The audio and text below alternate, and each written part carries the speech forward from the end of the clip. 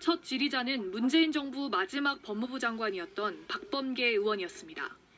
법무부가 직무 조항은 고치지 않고 인사정보 관리단을 신설해 공직자 검증을 하고 있다며 법치 농단이라고 했습니다.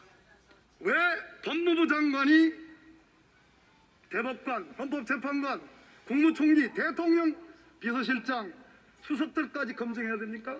제가 이 일을 하는 것이 잘못이라면 과거 정부에서 민정수석실에서 했던 인사 검증 업무는 모두 위법입니다.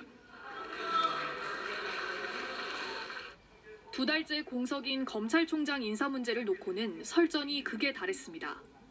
대검검사급, 고검검사급, 평검사 전부 다 한동훈 장관이 다 해버렸습니다. 이런 여- 전례가 있어요?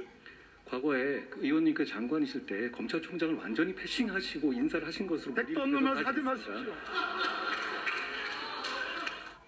민주당은 사적 채용 논란 등을 거론하며 윤석열 정부 공정성 문제를 제기했습니다. 친인척이 에, 법률에 의해서 큰 문제가 없다면 어, 또 검증 과정을 다 거쳐서 어, 자, 임명이 되는 것이기 때문에 국회는 4촌 이내에는 금지가 돼 있고 8촌 이내는 신고를 하게끔 돼 있습니다. 이 과정에서 박진 외교부 장관은 대통령실 인사비서관 배우자가 윤 대통령의 나토 방문 사전 답사단에 동행한 사실을 알지 못한다고 말하기도 했습니다. 반면 국민의힘은 탈북어민 북송 사건을 제기하며 문재인 정부를 겨냥했습니다.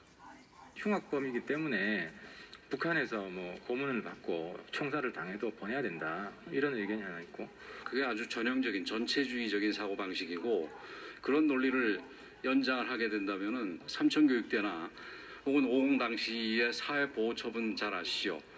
권 장관은 이 사건이 탈북민 의사에 반해 강제 북송된 유일한 사례로 알고 있다고 말했습니다.